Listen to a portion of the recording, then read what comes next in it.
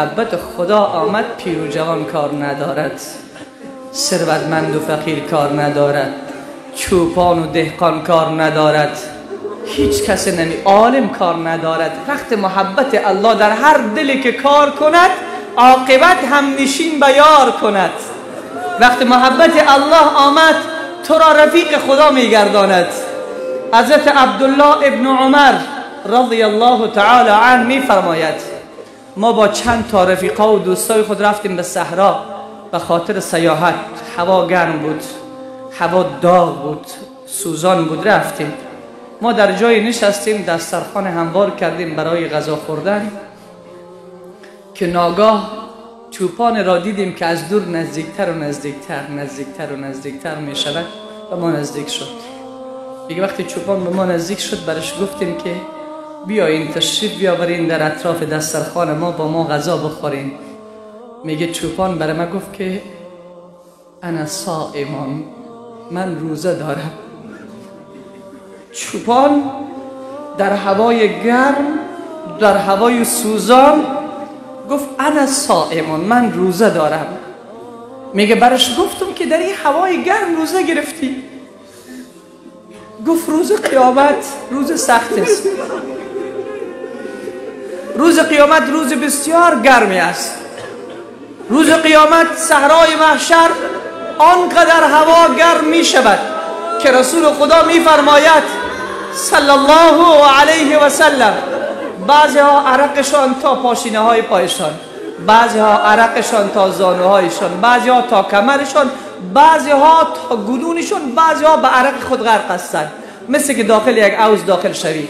همه قدر روز گرمی است. گفت روز قیامت بسیار روز گرم است. ما خواستم آمادگی روز قیامت را بگیرم. نمی‌خوایم روز خالی داشته باش حضرت عبدالله ابن عمر وقت عشق را می‌بینه وقت شجاعت را می‌بینه وقت ایثار را می‌بینه وقت محبت این بنده چوبان را نسبت به الله می‌بیند. دوست دارد که بیشتری را امتحان بکنه. برش میگه که ما خو آمدیم مهمان هستیم مهمان شما هستیم به صحرا آمدیم. تو خو گوسفندای زیاد داری. از این گوسفندا یکیشو برای ما بفروش که ما اینجا بخوریم. پول هم میتیم برد چوپان برش میگه که یک گوسفندا مال من نیست. مال مالکش است. ای کاش که امروز مسلمان از خدا این اندازه میترسید. رشوت نمی‌گرفت. سود نمی‌خورد. مال مسلمان رو نمی‌خورد. مثل همین چوپان ایمان میداشت. مثل همین چوپان عشق به الله خود میداشت. امروز مال مردم هم مال من مال خودم هم مال من.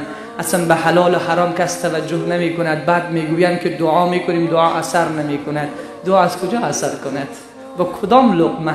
خدا که پاک است. انما یتقبل الله من المتقین. از متقیان را خدا قبول می کند ان الله طیب لا یقبل الا طیبا خدا پاک است جز از پاکان از کس دیگر را قبول نمی کنه بعد برش گفت که یک گوسفند برای ما بفروش. گفت یک مال من است. مال من است مال مالکم است. حضرت عبدالله ابن عمر گفت چه مشکل داره بهانه بسیار.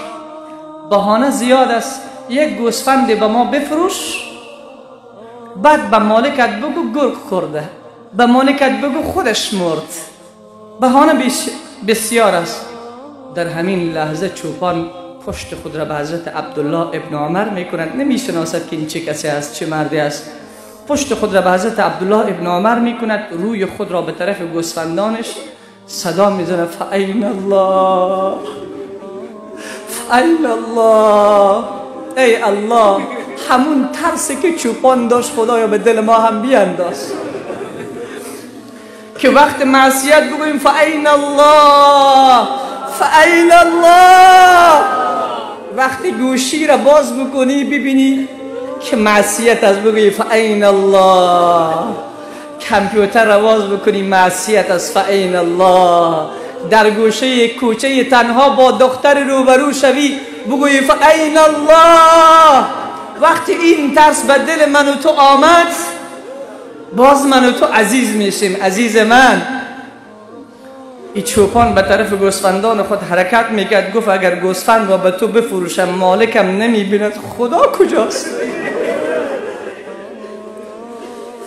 آن کس که تو را شنا جان را چی کند؟ فرزند و عیال و خانمان را چه کند؟ دیوانه کنی؟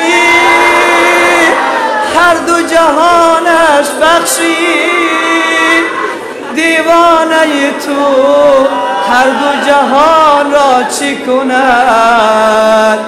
یا رب ذکرم به حال ما رحمت کن. یا رب ذکرم به حال ما رحمت کن. بر این دل ناتوان ما رحمت کن. در سینه دردمند ما رحمت ده. بر دیده اشک و بار ما رحمت کن. وقت وقت شناخت الله آمد. تو گرمی نمیگی باز. سردی نمیگی. محبت الله گرمت می‌کنه در سردی سردت می‌کنه در گرمی. عزیز من حضرت عبدالله ابن عمر بعد از این که چوپان حرکت کرد به پیش خود زمزمه می‌کرد. فعین الله فعین الله فعین الله.